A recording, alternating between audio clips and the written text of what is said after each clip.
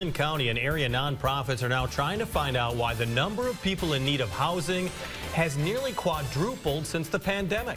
Linn County data shows 33 people were living outside in 2019, and that number jumped to 107 in 2022. The Cedar Rapids City Council says one of its top priorities is finding out why the number of homeless is rising.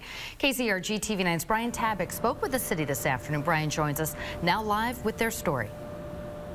Beth, Jim, the city of Cedar Rapids says that the National Alliance to End Homelessness is already starting to collect data and it's surveying the city, county, nonprofits, as well as those living on the streets. Would not talk crazy about the.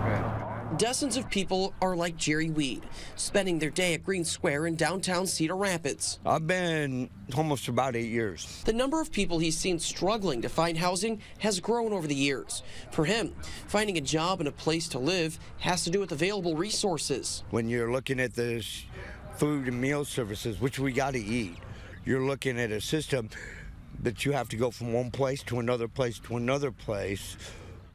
And if you're outside of that schedule, you can't get fed.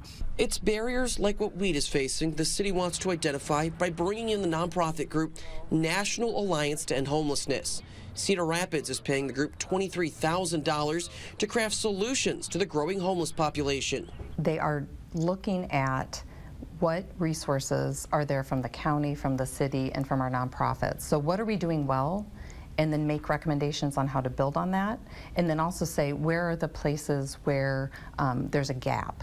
Jennifer Pratt, the community development director, says the nonprofit already started surveying ahead of the two day work session planned for June. She says getting to the root cause of how to better help people like Weed is going to be a collaborative partnership with local nonprofits already handling the work. It's something she says they've experienced doing, having gone through natural disasters. We've had experience doing this. We know how to do it. We have those relationships.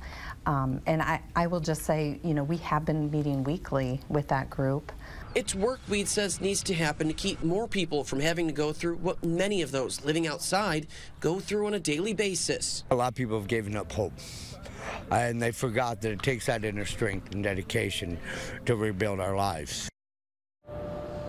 Pratt says once they do identify these solutions, the next task will be finding a continuous funding stream as there's likely to be more than one issue that needs to be addressed. In Cedar Rapids, Brian Tabick, KCRG TV 9 News.